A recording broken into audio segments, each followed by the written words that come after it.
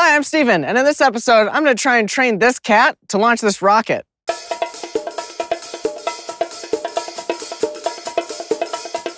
The space race captivated the world in the 50s and 60s.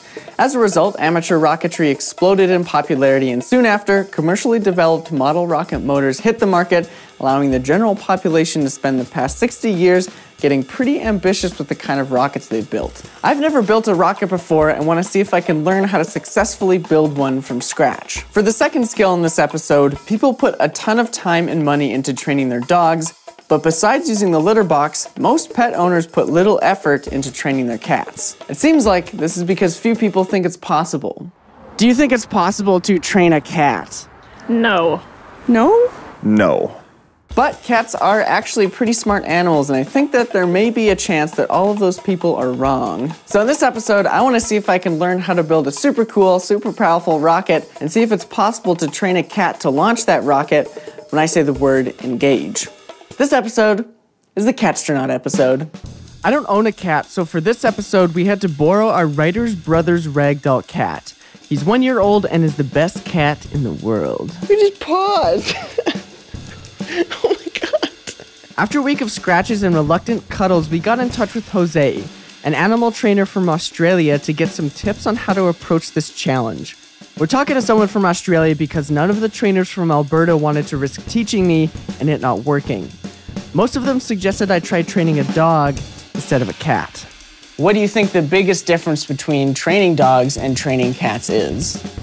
Well, both dogs and cats have a brain, so that means that cats and dogs both will be able to have their behavior modified using classical and operant conditioning. Now, potentially, we could say that generally speaking, a large proportion of the dog population could perhaps be a little bit easier to motivate than a cat. But as soon as we find something that we can use sort of as currency in a training context with a cat, from that moment onwards, it's very similar. The currency Jose suggested was food. So instead of leaving food out for Blue to eat, I would feed slash train him two to three times a day following this training guide. Step one, charging the marker. Click the clicker and offer a food treat.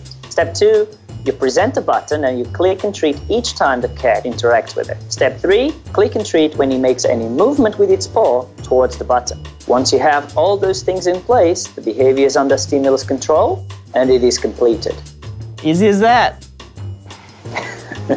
Hopefully.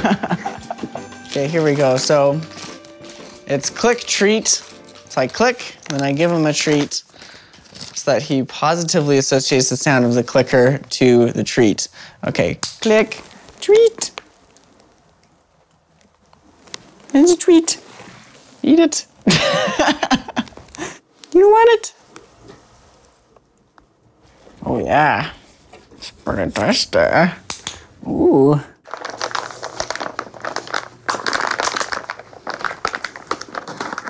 What's this? What's this? Oh, yeah. Okay. Oh, I used a button as your friend. Today I'm going to try and start teaching Blue uh, to put his paw on top of the button. Put, put that there. Put it there. While I was working on what was turning out to be the monumentally difficult task of getting Blue to touch the button, I bought some small, medium, and large size kit rockets to start getting an idea of the fundamentals of rocketry. Oh, just something that we threw away. Pretty sure. So I'm pretty sure that one of the things that was supposed to be in the kit isn't in the kit. So I've decided to come up with my own solution for this, which always works.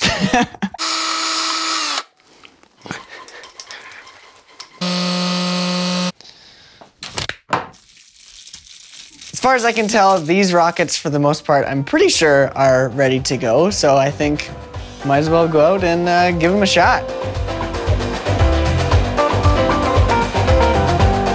Okay. Everybody careful! Shooting rocket in three, two, one. Whoa! no! Okay, let's go check it out. the first and second attempts with the small rocket ended with the parachute entangled. Now, the third attempt, I packed it properly and it finally worked. Yes! I only got to shoot off the medium rocket once because I packed the parachute wrong again, it didn't eject, and got burnt mid launch. And we weren't even able to shoot off the big rocket because I forgot to bring the right motors for it. So I think that it's probably a good time for me to get some help on this. While I continued to try to get Blue to press the button, I was able to convince an entire rocket club to give me some tips on how to build a successful rocket. It's a pretty simple sport. Get your fins on straight so it flies straight. Make sure your relationship between your center of gravity and your center of pressure, which is the math you'll have to do to design a proper rocket, is proper so that it flies upwards and not backwards. The center of gravity is the point on the rocket where it can be perfectly balanced. The center of pressure is the single point that all the aerodynamic forces on the rocket act through. In order for a rocket to fly stably, the center of gravity needs to be above the center of pressure. If CP is above CG, the rocket will try and flip itself over during the flight. What do you think is going to be the most difficult part about building this rocket? I always find the most difficult part for me is getting the fins on perfectly straight. I use my micrometer eyeball, which is getting old and not as good. You use you use eyes. You just eyeball it. I it. just eyeball it on there.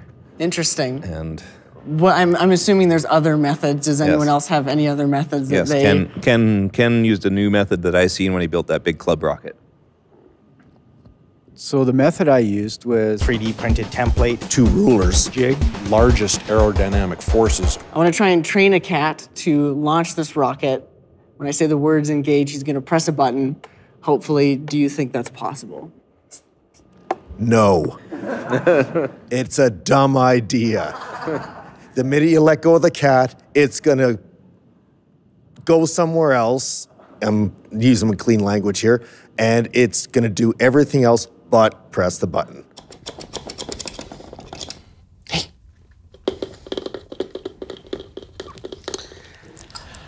Oh God. Okay, let's try something else.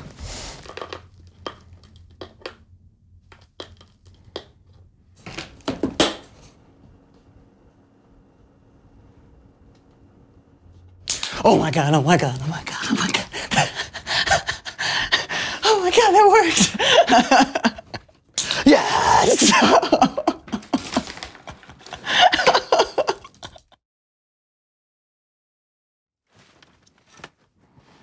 hey, you want food? Okay, let's go. Okay. Oh my god, did you see that? oh my god. He's doing it without that already.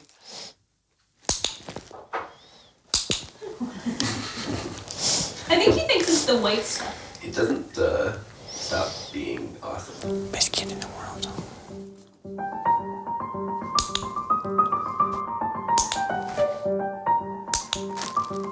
Because literally none of these rockets, except for the first one I made, was a success, I'm gonna put a ton of time and effort into making sure that this one I built from scratch is successful. I've designed this rocket in the rocket design software, and according to the software, should be a pretty good, stable rocket. Okay. Arming. Good. Oh my god, oh my god, oh my god, it worked. Oh my god.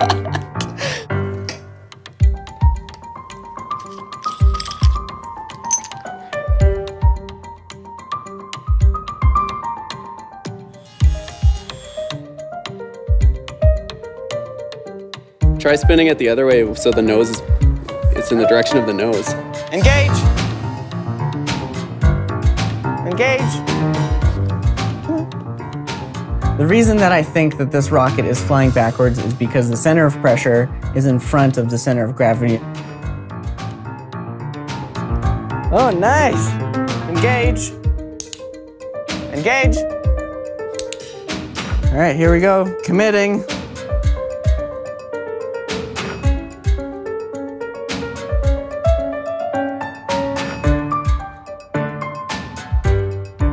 Now that I was pretty sure that both Blue and the rocket were ready, I headed out to the launch pad to give this finale a shot. The goal? Have Blue launch the rocket when I say engage, it flies straight through the air, and come down with the parachute released and fully intact.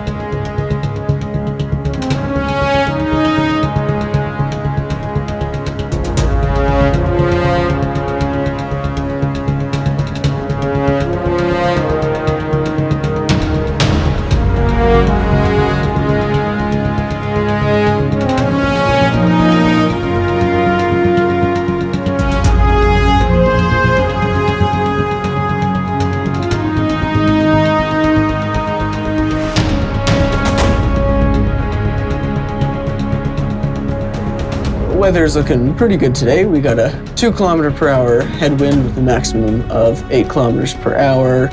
Cloud coverage is looking not great, but we're gonna work with it. Rocket is intact. And uh, Chris Catfield, how are you doing? Meow. Well, all systems are a go. Rocket is armed. We are good to go. And we are launching in five, four, three, two, one. Engage.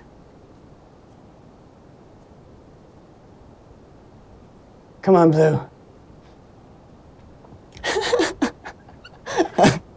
okay. Blue, look at. Look at this. Look. Engage. Engage. Engage.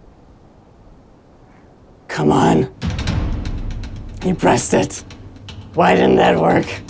Blue has hit the button four times, but he hasn't hit it hard enough to launch the rocket. He's kind of lost interest in the button, which is a little nerve wracking for me.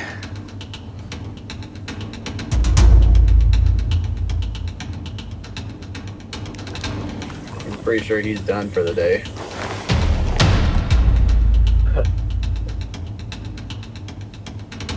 Can I get some more food?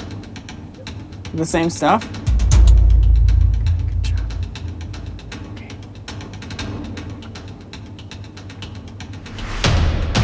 Engage! Engage!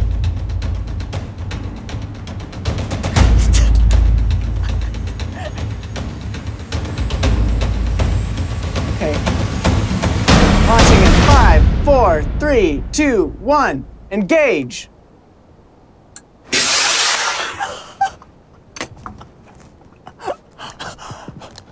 Where to go? Go over that way. Why parachute deployed yet? I just heard something happened. Where is it? There. I can hear it. It's going down. I think it hit the ground. Oh, damn it! Ah. So, so many mixed feelings. oh, man, okay.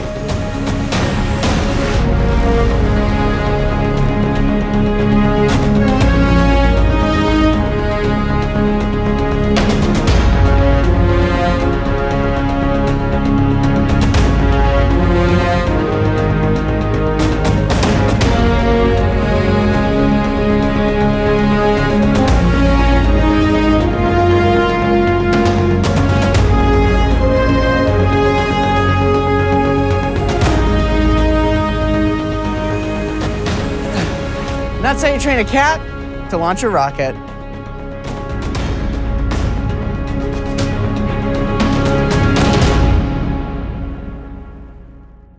All right, as far as takeaways go for this episode, my first one is is that cats can be trained. You just have to figure out a positive way to motivate them.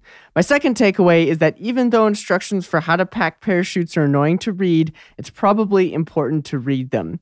And lastly, if people tell you a thing you're trying to do is impossible, sometimes it's better to ignore those people and just try really hard to do it anyways.